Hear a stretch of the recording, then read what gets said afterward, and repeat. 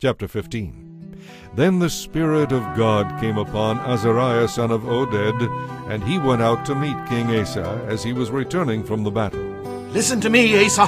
He shouted, Listen, all you people of Judah and Benjamin. The Lord will stay with you as long as you stay with him. Whenever you seek him, you will find him. But if you abandon him, he will abandon you. For a long time, Israel was without the true God, without a priest to teach them, and without God's law. But whenever you were in distress and turned to the Lord, the God of Israel, and sought him out, you found him.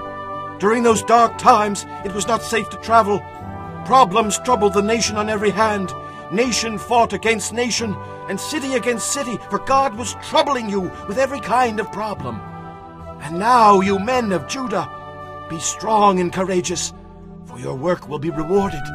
When Asa heard this message from Azariah the prophet, he took courage and removed all the idols in the land of Judah and Benjamin, and in the towns he had captured in the hill country of Ephraim.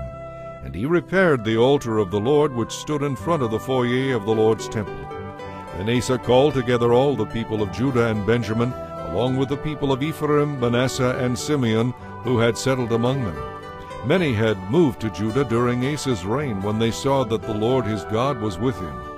The people gathered at Jerusalem in late spring during the fifteenth year of Asa's reign. On that day they sacrificed to the Lord some of the animals they had taken as plunder in the battle, seven hundred oxen and seven thousand sheep and goats. Then they entered into a covenant to seek the Lord, the God of their ancestors, with all their heart and soul. They agreed that anyone who refused to seek the Lord, the God of Israel, would be put to death, whether young or old, man or woman. They shouted out their oath of loyalty to the Lord with trumpets blaring and horns sounding.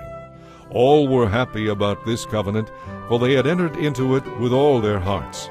Eagerly they sought after God, and they found him, and the Lord gave them rest from their enemies on every side. King Asa even deposed his grandmother Maacah from her position as queen mother because she had made an obscene Asherah pole.